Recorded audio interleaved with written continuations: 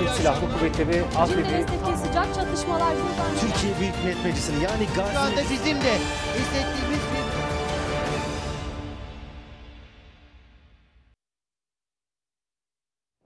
Ulusal Kanal Haber Merkezi'nden iyi akşamlar. Bugün 10 Şubat 2019 Pazar.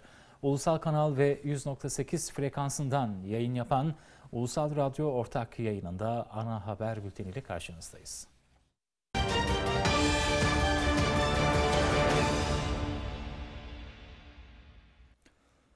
İstanbul Kartal'da çöken binada hayatını kaybedenlerin sayısı 21'e yükseldi. İçişleri Bakanı Süleyman Soylu sorumlularla ilgili gereğinin yapılacağını söyledi. Çevre ve Şehircilik Bakanı Murat Kurum da çöken binanın beton yapısında deniz kumuna rastladıklarını açıkladı. Enkazda arama çalışmaları ise sona erdi.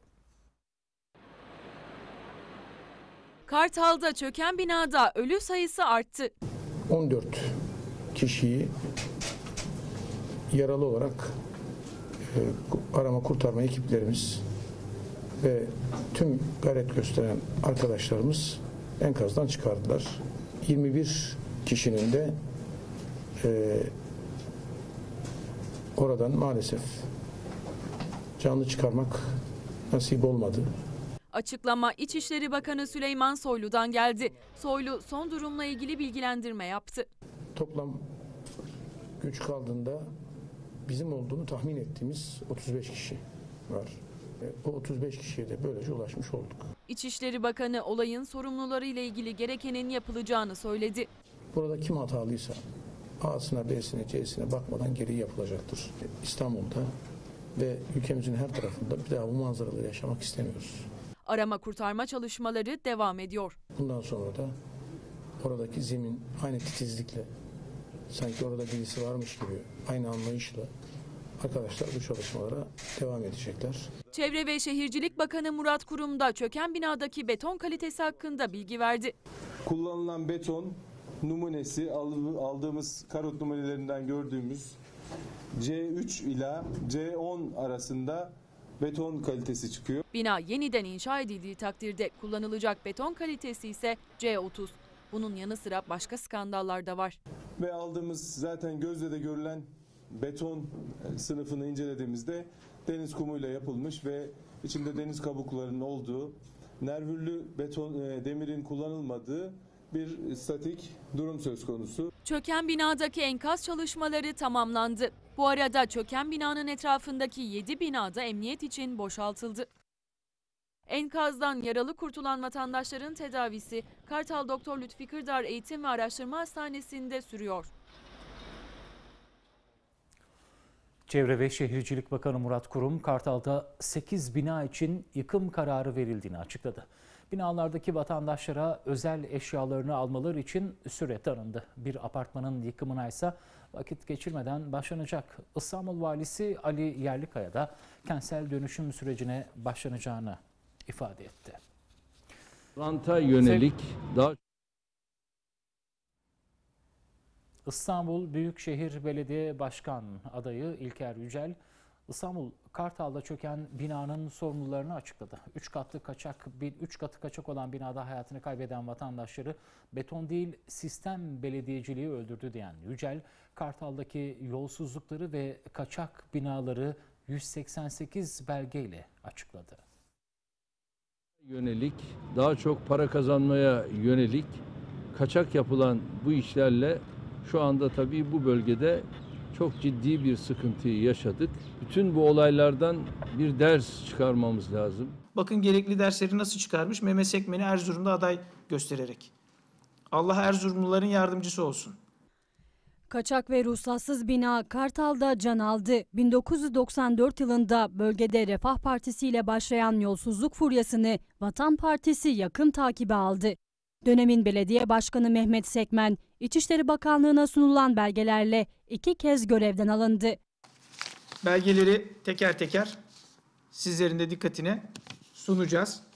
Mehmet Sek- e, Sekmen aslında bir şahıs ama şu anda e, İstanbul 39 ilçesinde Mehmet Sekmen var. 1994 yılında başlayan mücadelenin arkasında Vatan Partisi vardı. 22 yıl önce hükümet ve Türkiye uyarılmıştı. Vatan Partisi'nin uyarıları dinlenseydi Kartal'da 21 vatandaşımız şu anda yaşıyor olacaktı. Çünkü bu belgelerin birçoğu oradaki kaçak ruhsatsız binalarla ilgili. Sistem belediyeciliği orada insanlara mezar olacak binaları dikmeye devam etti. Vatan Partisi'nin İstanbul Büyükşehir Belediye Başkanı adayı Mustafa İlker Yücel, vatandaşlara mezar olan Kartal'daki facianın sorumlularını açıkladı. 21 yurttaşımızı bina öldürmedi. Şu anda suçu binaya atıyorlar, betona atıyorlar. Halbuki o binayı, betonu oraya döken, ruhsatsız, izinsiz bir şekilde oralara yapılaşmaya izin veren sistem belediye. Rant ve şirket belediyeciliğinin İstanbul'un temellerini sarstığını söyleyen Yücel, 3 klasörden oluşan 188 belgeyi kamuoyuyla paylaştı. Mehmet Sekmen'in 3 ayrı konudan yargılanmasına karar veriliyor. Mülkiye müfettişlerinin hazırladığı dosyalardaki suç başlıklarını sizlere kısaca söyleyeceğim. Kaçak ve ruhsatsız inşaatlar, tarikat kurumlarına aktarılan kaynaklar, ihalelerdeki yolsuzluklar, Ömerli Baraj Havzası'ndaki hazine arazisinin talanı gibi çok önemli iddiaların bulunduğu müfettiş raporlarıyla İçişleri Bakanlığı harekete geçiyor ve 30 Mart 1998'de Mehmet Sekmen'i Kartal Belediye Başkanlığı görevinden alıyor. Vatan Partisi'nin başvuruları üzerine. Sonradan İstanbul 2. İdare Mahkemesi şaşırtıcı bir şekilde göreve iade kararı alıyor. Fakat Vatan Partisi o dönem Kartal İlçe Örgütü'nün mücadelesiyle birlikte yeni belgelerin de e, verilmesiyle birlikte 1900, Ekim 1998'de tekrar görevden alınıyor. Kar Yapsan isimli bir şirket tespit ediyor Vatan Partisi yöneticileri. Malzeme alımı karşılığı gösterilen paralarla kaçak ve ruhsatsız inşaatların izni alınmış oluyor. 22 yıl önce başlayan mücadeleyle bugünün Türkiye'sine çağrı yapan Yücel, sistem belediyeciliğinin çöktüğü koşullarda Vatan Partisi'nin Vatan Partisi'nin tek seçenek olduğunu vurguladı. Kartal'da çöken bina değildir, sistem belediyeciliğidir. Şu anda bu sistem belediyeciliğinin içerisinde çökmeye hazır binlerce bina var tüm Türkiye'de. AK Parti ve CHP'nin belediyeciliğinde denetim yok, plan yok, rant var. Bu belediyecilik anlayışında ölüm var, yaşam yok. Kartal'da Vatan Partisi bu facianın geleceğini 22 yıl önce kamuoyunun dikkatine sunmuş. 22 yıl sonra da yeni binaların yıkılmaması için bugün Vatan Partisi lazım. İstanbul'da son olarak Kartal'da bir bina çöktü sevgili seyirciler. Hatırlayacaksınız kısa bir süre önce de Beyoğlu ilçesinde bir bina çökmüştü. Ondan yine kısa bir süre önce Zeytinburnu ilçesinde bir bina çökmüştü. Yani İstanbul'da çöken binaların haddi hesabı yok. Peki sadece İstanbul mu? Hayır. Yurt genelinde çöken binalarla, yitip giden canlarla karşılaşıyoruz. İşte bu konuda Vatan Partisi İstanbul Büyükşehir Belediye Başkan adayı İlker Yücel bugün önemli bir basın toplantısı düzenledi. O toplantıda önemli vurgular yaptı. Ama farklı bilgilerle şu an stüdyomuzda. Sayın Yücel hoş geldiniz. Hoş bulduk, teşekkür ederim. Üç klasörle geldiniz. Evet, Bu üç klasör e, neyi içeriyor? evet. Neler var? Merak ediyorum ben açıkçası. Sistem belediyeciliğinin röntgeni var burada. Evet. Yani sadece Kartal değil. Türkiye'nin bütün belediyelerinde, bu sistem partilerinin yönettiği bütün belediyelerde e, rüşvet mekanizması, yolsuzluk mekanizması, imar konusundaki usulsüzlükler, Evet. kanunsuzluklar Kartal'daki bina çökünce biz yeniden inceledik oradaki durumu ve Vatan Partisi'nin 21 yıl önce oradaki uyarılarını klasörlerle tekrar Türkiye'nin gündemine sokmak istedik. Çünkü Evet. konu sadece Kartal değil. Oradaki mekanizma şu anda AK Parti ve CHP'nin yönettiği neredeyse bütün belediyelerde var. Ve bu buradan hareketle bir belediyecilik anlayışı tartışması yapalım. Evet. Yani Kartal'da ve İstanbul'un diğer kentlerinde Türkiye'nin e, yerel yönetimleri nasıl yönetiliyor? Bu binalar az önce söylediğiniz gibi kendi kendine mi çöküyor? Bu binalar çökülmesi için yapılmış zaten. Evet. Usulsüzce, kanunsuzca yapılmış ve insanlarımıza mezar oluyor. Yerel yöneticiler belediyeleri şehrin katili olan mekanizmalar ol- olarak kul- kullanıyor. Şu anki sistem belediyecileri belediye kurumunu şehirleri katletmek için kullanıyor. İşte onun klasörlerle belgelerinde birlikte getirdik. Özellikle kameralar önünde göstermek istiyoruz. Çünkü bunu talep eden bütün yurttaşlarımızla, kamu kurumlarıyla, e, İçişleri Bakanlığı'yla, e, müfettişlerle, İçişleri Bakanlığı müfettişleriyle paylaşmaya hazırız. Çünkü buradan hareketle Türkiye'deki bütün belediyelerin nasıl çalıştığını çok net görebiliriz. Evet bu aynı zamanda yeni e, facialar yaşanmasın diye de bir uyarı. Evet, uyarı. Bu, bu klasörlerde önemli bilgiler var ama isteyen herkese de açık diyorsunuz. Tabii açık. İncelemeye de açık. yani. İsteyen yurttaşlarımıza daha, e, daha önemlisi kamu kuruluşlarıyla hemen e, bu bilgileri paylaşmaya hazırız ki Kartal'da yaşadığımız facianın bir benzerlerini başka yerlerde yaşamayalım. Evet. Şimdi İstanbul'da son olarak Kartal'da bir bina çöktü ama Evet. az önce de dedim ya sadece Kartal değil yakın tarihe baktığımız zaman yakın zamanda çok sayıda bina çökmesiyle karşılaştık. İstanbul dışında e, başka illerimizde de çöken binalarla karşılaştık. Kartal'da binanın çöktüğü günlerde Anadolu'da bir başka yerde bir yine e, metruk binada çökme meydana geldi. Üç çocuk yaralandı enkazdan sağ olarak kurtarıldı pek de gündeme gelmedi. Türkiye adeta çöküyor. Bir deprem kuşağı üzerinde bulunan Türkiye deprem olmadan çöküyor. Siz aynı zamanda Vatan Partisi'nin İstanbul Büyükşehir Belediye Başkan adayısınız. Yeni bir kentleşme anlayışına hakim misiniz? Evet. Ee, depreme karşı ne gibi tedbirler almayı planlıyorsunuz? Kentsel dönüşüm konusunda Cumhurbaşkanı Erdoğan'ın söylediği e, gönüllülük esası, bir e, giriş artı 5 kat e, taraftarı mısınız? 6. 7. katta oturanları ne yapacaksınız? Evet.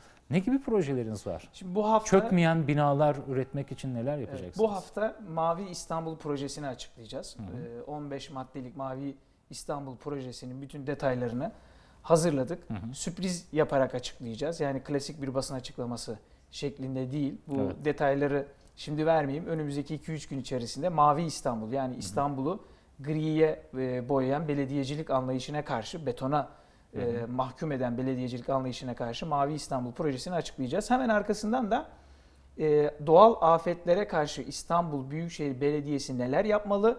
Evet. Vatan Partisi yönetiminde İstanbul Büyükşehir Belediyesi kaynaklarını doğal afetlere karşı önlemlerde nasıl kullanacak? Onunla ilgili projelerimizi açıklayacağız. İzninizle ilk sorunuza e, döneyim. Buyurun, Şöyle cevap vermek istiyorum. Burada e, Kartal Belediyesi'ne deki usulsüzlükleri Vatan Partisi Kartal İlçe Örgütü tam 21 yıl önce Tayfun Tabakoğlu başkanlığında bir mücadeleyle ele alıyor. Evet, ekranda Hatta yansıyor, onun ilk efendim? İlk belgesi bu. İşte bu İstanbul Cumhuriyet Başsavcılığına sunulan e, suç duyurusuyla birlikte Kartal Belediyesi'nin usulsüzlükleri kamuoyuna yansımaya başlıyor. Evet. İçişleri Bakanlığı e, mülkiye müfettişlerinin hazırladığı raporlardan sonra Kartal Belediyesi'nin e, yargılanma belediye başkanı yargılanmasına ilişkin izni veriyor. Belediye başkanı e, 98'de 1998'de iki kez görevden alınıyor, iki kez e, geri dönüyor. E, ama görevden alınma gerekçelerinde detaylı bir şekilde ihalede usulsüzlükler, imar planında yapılan usulsüzlükler, kanunsuz uygulamalar detaylı bir şekilde yer alıyor. E, 1998 Ekim'de görevden alındıktan sonra göreve gelmiyor. Bir sene sonra yine seçime giriyor ve e, yeniden Kartal Belediyesi'nin başkanı oluyor. Şimdi dikkatimi şu çekti. e, Sayın Cumhurbaşkanı buradan ders çıkarmamız gerekiyor dedi Kartal'da. Fakat ders çıkarılmışa pek benzemiyor. Çünkü bu isim e, şu anda Erzurum Büyükşehir Belediye Başkanı olarak AK Parti'nin adayı olarak belirlendi Mehmet Evet. Sekmen. Yani Kartal'da aslında fail belli. Orada Vatan Partisi tam 21 yıl önce uyarıyor 1997'den itibaren uyarıyor. İçişleri Bakanlığı bu uyarıları, bilgileri, belgeleri alıyor ve haklı diyor. Vatan Partisi'nin uyarıları Evet, ve hı belediye başkanını görevden alıyor. Üstelik iki kez görevden alıyor.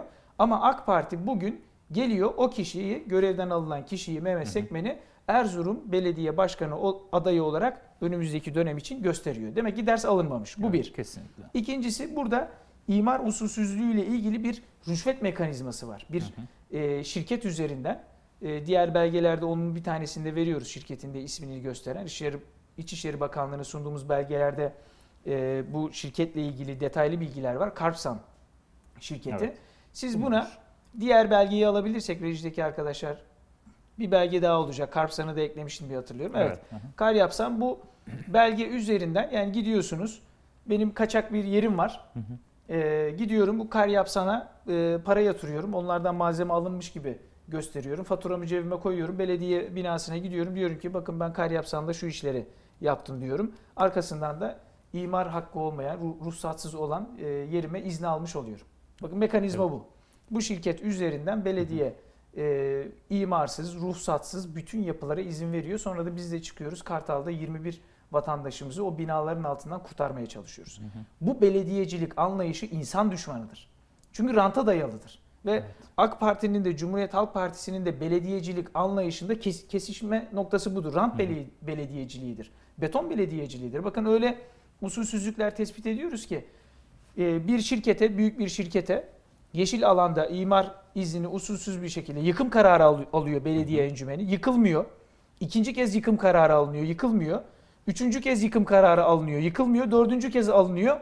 En son o yıkım kararlarının altında imzası bulunan belediye başkanı, Kartal Belediye Başkanı gidiyor, yıkım kararı olan yeri kurdelesini kesiyor. Bakın bu sistem böyle bir sistem. Vatandaşın haberi yok tabii bundan. Evet. Ve o yıkım kararı alınan yer e, büyük AVM'ler yollar yapıyor.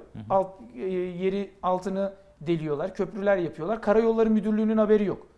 Karayolları Müdürlüğü'ne Vatan Partisi soruyor ya bununla ilgili bu projede sizin bilginiz var mı? Acaba bir şey mi atlıyoruz diye. O, o e, müdürlüklerin bilgisi yok. Dolayısıyla belediyeler bir yağma mekanizması haline getirildi. Evet. Vatandaşı soyma mekanizması, yağma mekanizması haline getirildi. İçişleri Bakanlığı 97-98 yılında buna müdahale etmiş. Ama ne zaman hatırlıyoruz Vatan Partisi'nin bu mücadelesini?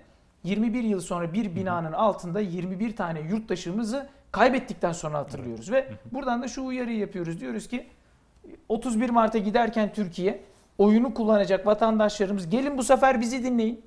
21 yıl önce açıklamıştı Vatan Partisi Türkiye bir felakete gidiyor kent yönetimlerinde. Evet. Yerel yönetimlerde cinayet işleniyor diye. O zaman uyarılarımız dinlenmediği için maalesef bugün Kartal'da e, vatandaşlarımıza bu beton binalar e, mezar oluyor. Bir belge daha var. İzninizle onu da göstermiş Buyurun, lütfen. olayım. Diğer belgeyi ekrana Evet. getirirsek.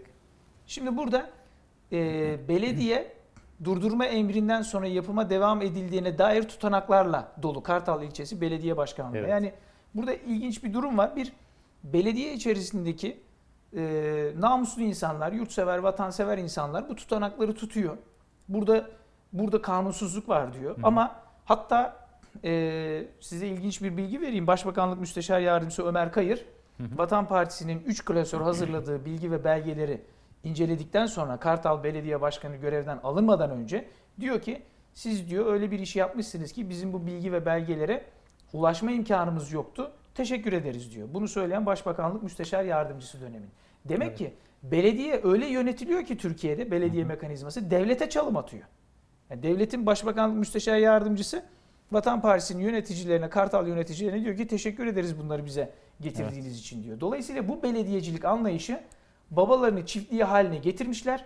Bütçeleri istedikleri gibi yağmalıyorlar. Hatta bu be- belediye başkanının e, Mehmet Sekmen'in görevden alınma belgelerinden biri de e, tarikat örgüt e, tarikatlara verdiği e, bol miktarda olanaklar, yasa dışı kurumlara verdiği olanaklar, tarikat örgütlenmesi, ihalede usulsüzlük yapılması ve imar kanunu kanunu delmesi. Dolayısıyla burada aslında e, bu anlayışı Türkiye'nin birçok belediyesinde görebiliriz. Rüşvet mekanizmasında usulsüzlükleri de yolsuzlukları da. Keşke İçişleri Bakanlığı kapsamlı bir araştırma yapsa Kartal'dan hareketle. Yani bu olaydan ders çıkardığımızı eğer gerçekten görmek istiyorsak benim çağrım şudur. İçişleri Bakanlığı'na Cumhurbaşkanlığı madem ders çıkarmak istiyor çık- çıkaralım diyor. O zaman bizim elimizdeki bu bilgileri ve belgeleri alsınlar. Bu bilgi ve belgelerden hareketle diğer belediyeleri de bir incelesinler bakalım neler çıkıyor. Ne karpsan şirketleri çıkıyor. Belediyeleri şirketleştirdiler. Şu anda vatandaşlarımız belediye başkanı seçmek için 31 Mart'ta gitmeyecek ki. Şirket müdürü seçecekler. Evet. Bütün belediye hizmetlerini şirketleştirdiler, taşeronlaştırdılar. Kamu hizmeti olmaktan çıkardılar. Dolayısıyla Vatan Partisi bu anlayışı, AK Parti ve CHP belediyeciliğinin bu anlayışına karşı rant sistemini kökünden yıkmaya geliyor. Bu mekanizmayı yıkmazsak insanımıza hizmet e, veremeyiz, verdiremeyiz. Bakın Vatan Partisi ta 21 yıl önce bu politikaların sahibi olduğunu Kartal'da göstermiş ve gerekli uyarıları yapmış. Evet.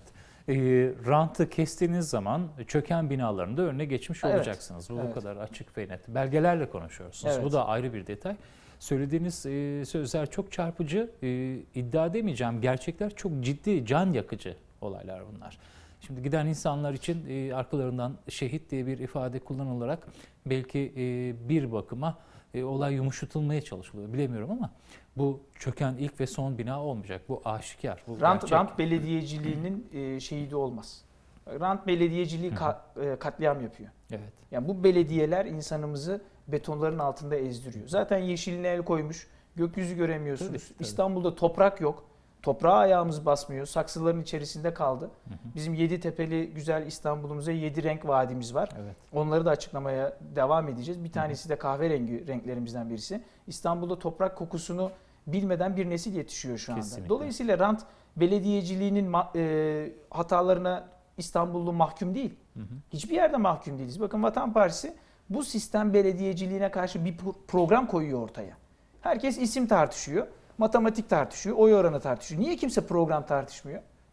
Burada bizi izleyen yurttaşlarımıza diyoruz ki gelin programları yan yana koyalım. Programları yan yana koyduğumuzda şunu göreceğiz. Bir yandan beton grisinin partileri turuncu bazıları da turuncu olmaya hevesli şimdi. Washington'a göz kırpıp duruyor. Ankara'dan yönetmeyeceğiz İstanbul'u diyor. Washington'a göz kırpıyor. Yani milli belediyeciliğin karşısında küresel e, hegemonyayla ben anlaşarak götüreceğim. Dünya Bankası ile bu süreci götüreceğim. Zaten belediyeler bu anlayışla batırıldı, şirketleştirildi. Evet, aha. Dolayısıyla Cumhuriyet döneminin, Atatürk döneminin kamu hizmeti felsefesini, kamu kamucu anlayışı yeniden hakim kılabilmemiz için bizi izleyen yurttaşlarımızın radikal bir karar alması lazım. Kararlı bir karar alması lazım. Atatürk kararı gibi yani biz idari maslahatçı değiliz. Niye mahkum olalım bu düzenbazlı e, şirketlere? Niye bunların önüne rüşvet vermek zorunda kalalım? Niye kendi vergilerimizi başkalarına yağmalatalım? Belediyeler kamu hizmeti yapmak zorundadır. Şirketleşmek, taşeronlaşmak gibi bir zorunluluğu yoktur. Tam tersine bazı yetişemediği koşullarda şirket elbette kullanılabilir ama biz şimdi e, belediye başkan adaylarımızla birlikte eğitimler yapıyor, yapıyoruz. Belediyelerin yapılarını ayrıntılı bir şekilde inceliyoruz. Şirket dışında hiçbir şey görmüyoruz. Şirket müdürü olmaya adaylar. Evet. Zaten belediye başkan başkanı olanlar çok hızlı zenginleşiyor. Bu, Kesinlikle. Bir- niye nasıl anda. çok hızlı zenginleşiyor? Maaşı mı çok belediye başkanları adaylarının? Yok. Başka mekanizmalarla zenginleşiyor ve Türkiye'de belediyede bir pozisyon almak zenginleşmenin alameti olmuş. Buna karşıyız ve vatandaşlarımız da oy oylarıyla birlikte Vatan Partisi'ne eğer oylarını bastıkları andan itibaren bu sisteme darbe vurmuş oluruz ve e, belediyelerimizi bu rantçı anlayıştan kurtarmış oluruz. Şimdi e, Vatan Partisi'nin İstanbul Büyükşehir Belediye Başkan adayısınız.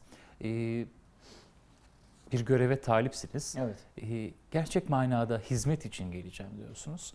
E, size can yürekten inanıyorum. Öncelikle hedefiniz de rantı kesmek. Rantı kestikten sonra da üreten belediyecilik anlayışını hayata geçireceksiniz ama sözlerinizden anladığım üreten belediyecilik derken beton üretmeyeceksiniz. Farklı Evet. şeyler değil mi? Evet. Katma değer şeylerden Tabii. bahsediyoruz. Tabii yani e, yedi tepeli güzel İstanbul'umuzda yedi renk vadimiz var. E, bu yedi rengini her hepsinin içerisinde bir üretim mekanizması önereceğiz. E, İstanbul Büyükşehir Belediyesi'nin en son açıklanan bütçesi 42 milyar 610 milyon TL. Aslında bütün kavga, bütün tartışma şu. Bu kır- 42 milyar nereye harcanacak? Evet. Ben buradan Üsküdar'da yaptığımız toplantıda açıkladım. Buradan e, sizin davetinizle bir daha açıklamış olayım. E, diğer adaylara şu ana kadar iki aday var. Sayın e, Binali Yıldırım ve Sayın Ekrem İmamoğlu. Bir kez daha söyleyeyim. Gelin belediye binasının önünde şunu taahhüt olarak açıklayalım. 42 milyar bütçenin 42 milyarın bütün son kuruşuna kadar nasıl harcanacağına dair bilgiyi belediyenin önünde ilan edelim Evet. bütçe toplantılarını da halka açık yapalım. Kapıları kapatarak değil, gizleyerek değil. Sayıştay'ın arkasından dolanarak değil, şirketler üzerinden e, Sayıştay'dan bilgi kaçırarak değil. Tam tersine 42 milyar 610 milyonu kuruş kuruş açıklayalım. Halkımıza nerelere gidiyor bu paralar, nasıl harcanıyor bu paralar. O yüzden zaten e, paraları eğer bu- buralara yatırırsanız bir rant me- mekanizması içerisinde buharlaştırırsanız halka hizmet götüremezsiniz. Maalesef şu anda belediyeler bu açmaz içerisinde. Peki. Sayın Yücel e, çok teşekkür ediyorum. teşekkür Eklemek ederim davetiniz için. alalım. Çok teşekkür ederim davetiniz Sa- için. Bizi olun, izleyenlere saygılarımı sunarım. Başarılar diliyoruz. Çok teşekkürler. Sağ olun. Sevgili seyirciler, Vatan Partisi'nin İstanbul Büyükşehir Belediye Başkan adayı İlker Yücel stüdyomuzdaydı. Vatan Partisi yurt genelinde adaylar çıkarttı, çıkartmaya da devam ediyor, açıklamaları devam ediyor.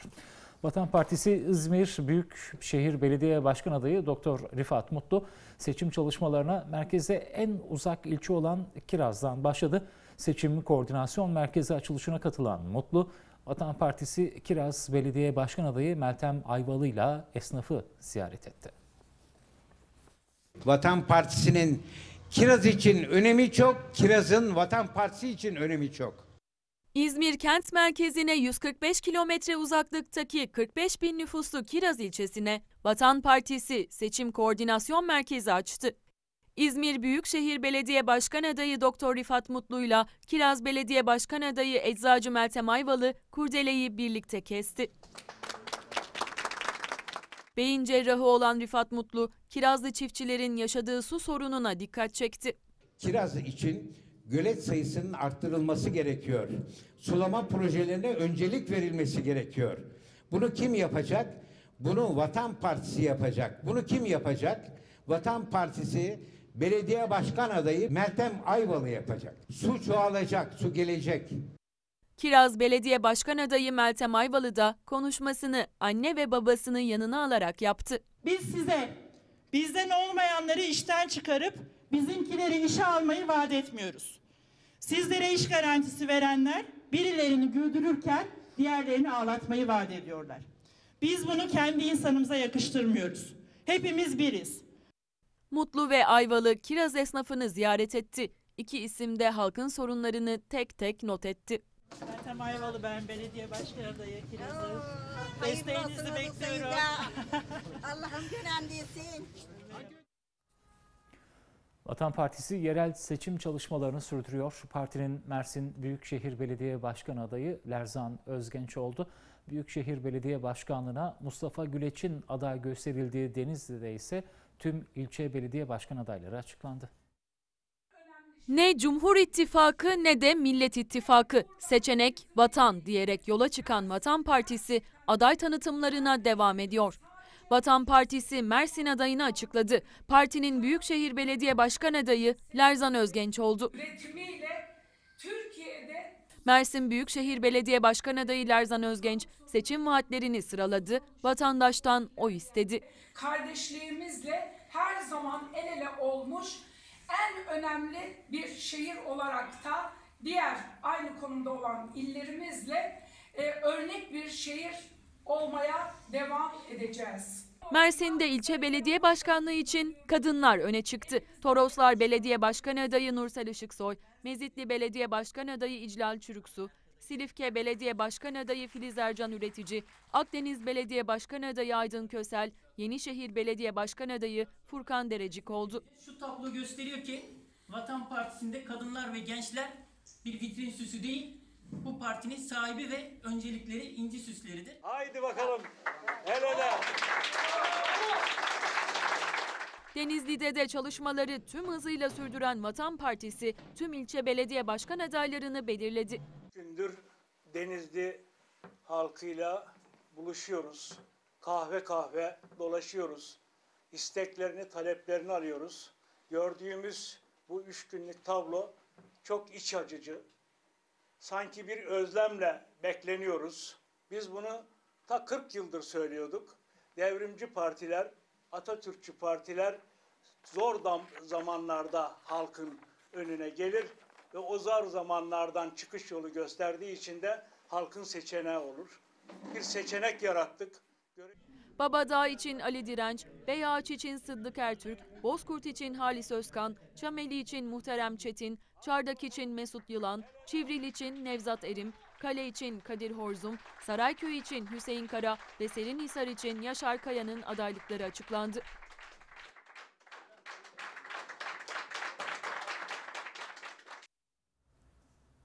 CHP 12 maddelik seçim bildirgesini açıkladı. Yerel seçimlerdeki adayların da tanıtıldığı toplantının sloganı Mart'ın sonu bahar oldu. Türkiye'yi 21. yüzyılın yıldızı haline getirmek için mücadele edeceğiz. CHP yerel seçimlere yönelik seçim bildirgesini açıkladı. Genel Başkan Kılıçdaroğlu yeni belediye başkan adaylarını tanıttı. Ankara Kapalı Spor Salonu'nda yapılan törene CHP Ankara Büyükşehir Belediye Başkan Adayı Mansur Yavaş'la İstanbul Büyükşehir Belediye Başkan Adayı Ekrem İmamoğlu da katıldı. Kılıçdaroğlu konuşmasında İyi Parti ve Saadet Partisi genel başkanlarına selam yolladı. Ardından 12 maddelik seçim bildirgesini açıkladı. Hoşgörülü ve halka saygılı kentler. Birinci maddemiz bu. İkinci kuralımız. Hakça paylaşan kentler. Üç. Hesap veren ve şeffaf yönetilen kentler. Dördüncü kuralımız. Yoksulluğu yenen kentler. Beşinci kuralımız. Üreten ve istihdam yaratan kentler. Altıncı kuralımız. Yenilikçi ve akıllı kentler. Kılıçdaroğlu'nun seçim bildirgesini okumasının ardındansa başkan adayları tanıtıldı. Çubuk.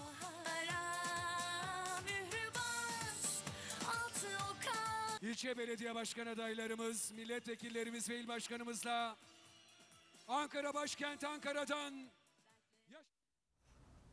İçişleri Bakanı Süleyman Soylu Ankara'da konuştu. CHP, HDP ittifakına değindi. HDP bal gibi zillet ve illet ittifakına dahil dedi. HDP'li vekillerin Öcalan için yürüyüş yapmayı planladığını, buna izin vermeyeceğini kaydeden Soylu, bir diğer terör örgütü FETÖ'de sert mesajlar gönderdi. Yeni ve büyük bir operasyon kapıda dedi. Kandil'in, PKK'nın aferin dediği, sırtını sıvazladığı ittifak bu millete ait bir ittifak olabilir mi? Ankara'da konuştu İçişleri Bakanı Süleyman Soylu. Hedefinde PKK ile arka kapılar ardında ittifak yapan CHP vardı. PKK'nın alenen sözcülüğünü yapan HDP ile ittifaklarının FETÖ'den aldıkları moral desteği gizlemeye çalışıyorlar. Açıkça söylüyorum. 31 Mart seçimleri için bunların taktiği Ali Cengiz oyunudur. HDP ile açık, net, herkesin bildiği bir ittifakları söz konusudur. Hiç kırılmasınlar. HDP bal gibi zillet, illet ismi neyse o ittifaka dahildir. Dolayısıyla PKK da bu ittifaka dahildir. Muhtarlarla ve dernek temsilcileriyle bir araya gelen Soylu aldığı bilgileri paylaştı. HDP'yi uyardı.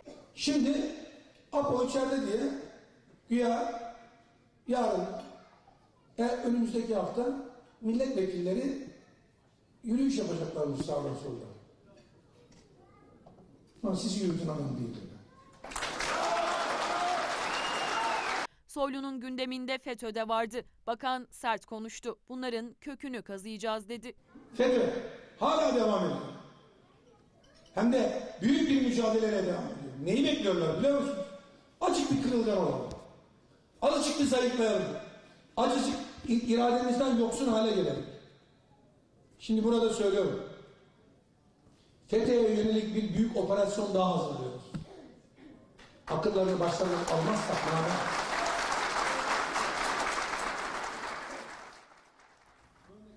Haklarını almak isteyen on binlerce emeklilikte yaşa takılan mağdur büyük buluşma için Ankara'ya akın etti.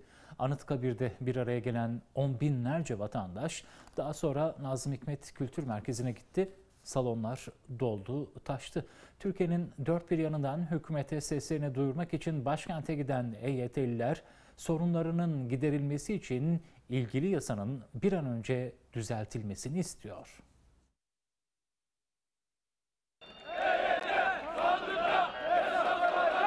Devletin kendilerinden istediği yasal şartları yerine getirdiler. Ancak karşılarına hiç ummadıkları bir anda IMF'nin dayatmaları nedeniyle dönemin siyasi iktidarının yaptığı değişiklik çıktı. Burada olmamızın sebebi sadece insanlar yasal olan haklarını almak istemeleridir. Geriye dönük olarak bir yasa işletilemez. Biz hakkımız olan emekliliği istiyoruz. İstanbul, İzmir, Bursa, Adana ve Samsun'da kitlesel basın açıklamaları yapan emeklilikte yaşa takılanlar bu kez hükümete Ankara'dan seslendi. EYT'liler haklarının verilmesini istedi. Biz Aydın Söke'den geliyoruz.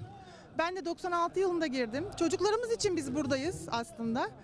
Hakkımızı istiyoruz. Merhaba İstanbul'dan geliyorum. Hükümet EYT'lilere zulmediyor. Prim gün sayısını dolduran ancak yaş nedeniyle emekli olamayan on binlerce yurttaş önce Anıtkabir'de buluştu. Atatürk'ü ziyaret eden EYT'liler ardından da Nazım Hikmet Kültür Merkezi'ne geçti. Türkiye'nin dört bir yanından Ankara'ya giden EYT'liler salonlara sığmadı. İçeri giremeyenler için kültür merkezinin dışına dev ekranlar kuruldu.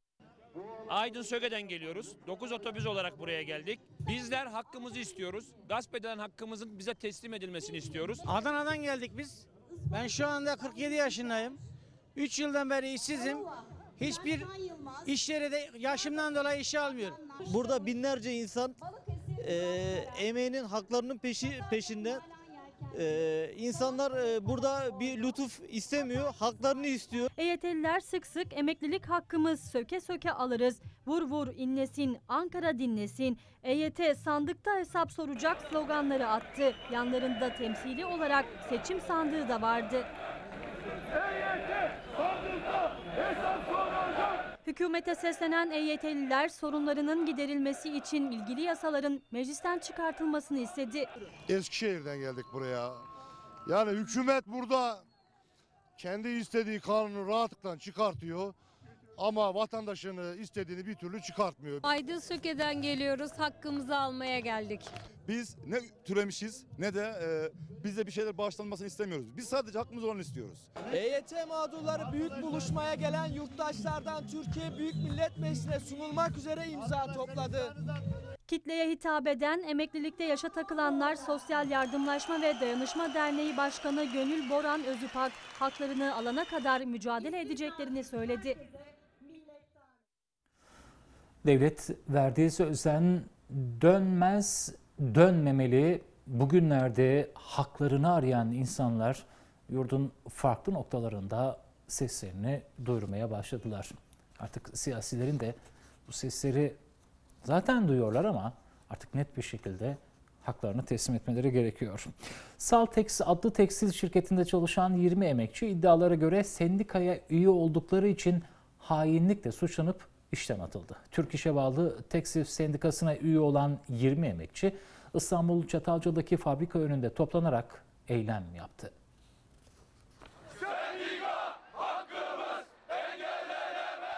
Haftanın 7 günü 12 saat üzerinden çalışıyor, bayramlarda izin bile kullanmıyorlardı. Ekmek teknelerindeki çalışma koşulları düzeltilsin diye sendikalı oldular, hain ilan edildiler. Şimdi asgari ücreti 12 saat çalışıyoruz. Cumartesi pazar dahil. Ben aslında yanal anayasal hakkımı kullandım. Fakat bunu patronlarıma ben anlatamadım. Onlar Saltex fabrikasının tekstil işçileri. İstanbul'da Çatalca'da Türk İş'e bağlı Tekstil Sendikası'nın örgütlenme çalışması yürüttüğü Saltex Tekstil'de 20 çalışan işten atıldı. Gerekçe sendikaya üye olmak. Bizim borcumuz harcımız olduğunu bile bile yani bizi işten haksız yere bu kış gününde attılar. Biz hakkımızı aradığımız için vatan haini olarak görünüyoruz. Sendika hakkımız engellenemez. Çalışanların ve sendikanın iddiasına göre Saltex işvereni işçileri ekmek yedikleri yere ihanetle suçladı. Türk İş'e bağlı sendikalarda işten atmalara karşı Çatalca'da bulunan fabrika önünde yaptıkları basın açıklamasıyla tepki gösterdi.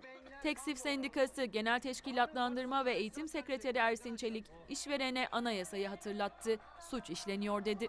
Sendikalı olma hakkını, örgütleme özgürlüğünü tanımayan, görmezden gelen Saltex yönetimi sırf sendika olma hakkını kullandığı için kapının önüne koyduğu emekçi kardeşlerimize anayasamızı, kanunu ayaklar altına almıştır. Saltex işvereni resmen orman kanunu uygulanmaktadır. Türk İş İstanbul 1. Bölge Temsilcisi Adnan Uyar da işçilerin yanındaydı. İşçilere hain diyen işverene sert tepki gösterdi. Bu ülkenin bölünmez bütünlüğü. Sonra emeğin hakça paylaşılması ve bölünmesi. Bu ülkenin anayasasında örgütlenme bir haktır. Yani bu ülkede işverenlerin fabrika kurması bir haksa, anayasal haksa, yasalarla güvence altına alınmışsa çalışanların da sendika hakkıdır, hak olmaya devam edecektir. İşten atılan emekçiler ulusal kanala konuştu. Anayasal haklarını kullandıklarını vurgulayan emekçiler yıllarca emek verdik, sendikalı olduk diye hain ilan edildik diyerek işverene sitem etti. Kış gününde bizi e, mağdur etti. Çocuğumuz için borcumuz var.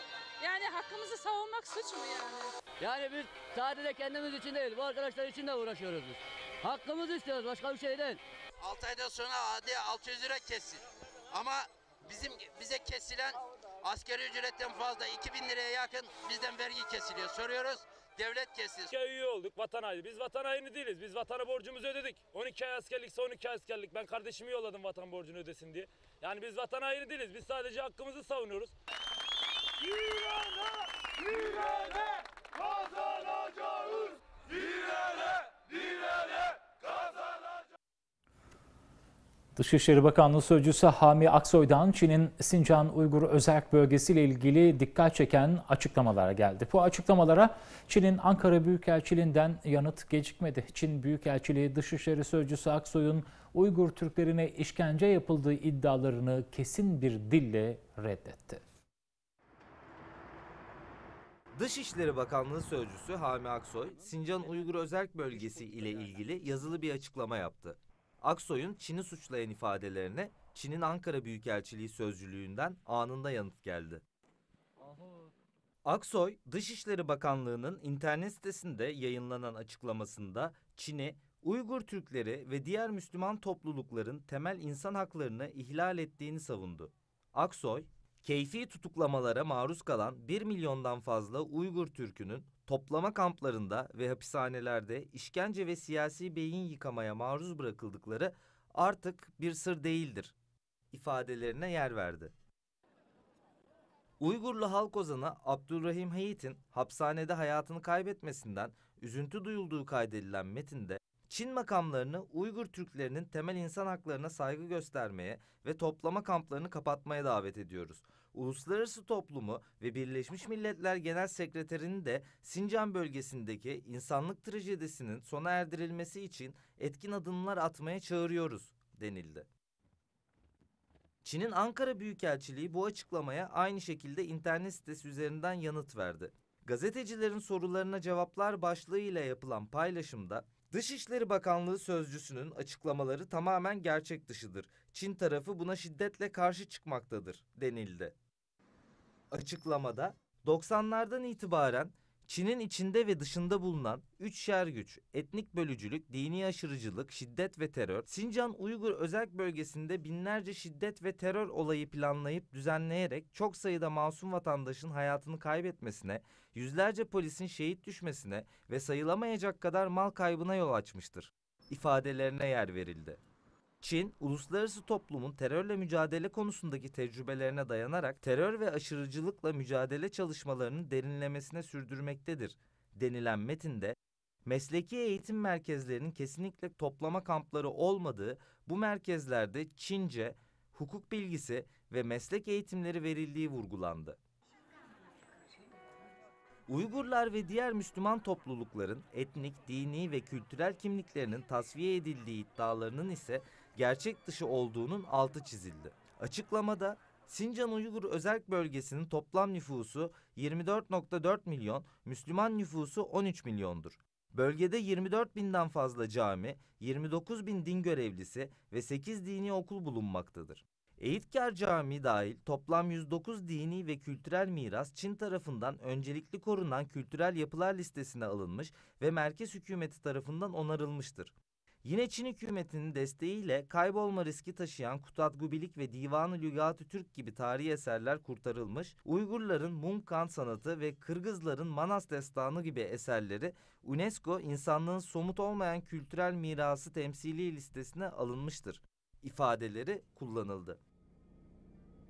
Türk Dışişleri Bakanlığı'nın açıklamasına destek ise merkezi ABD'de bulunan İnsan Hakları İzleme Örgütü'nden geldi.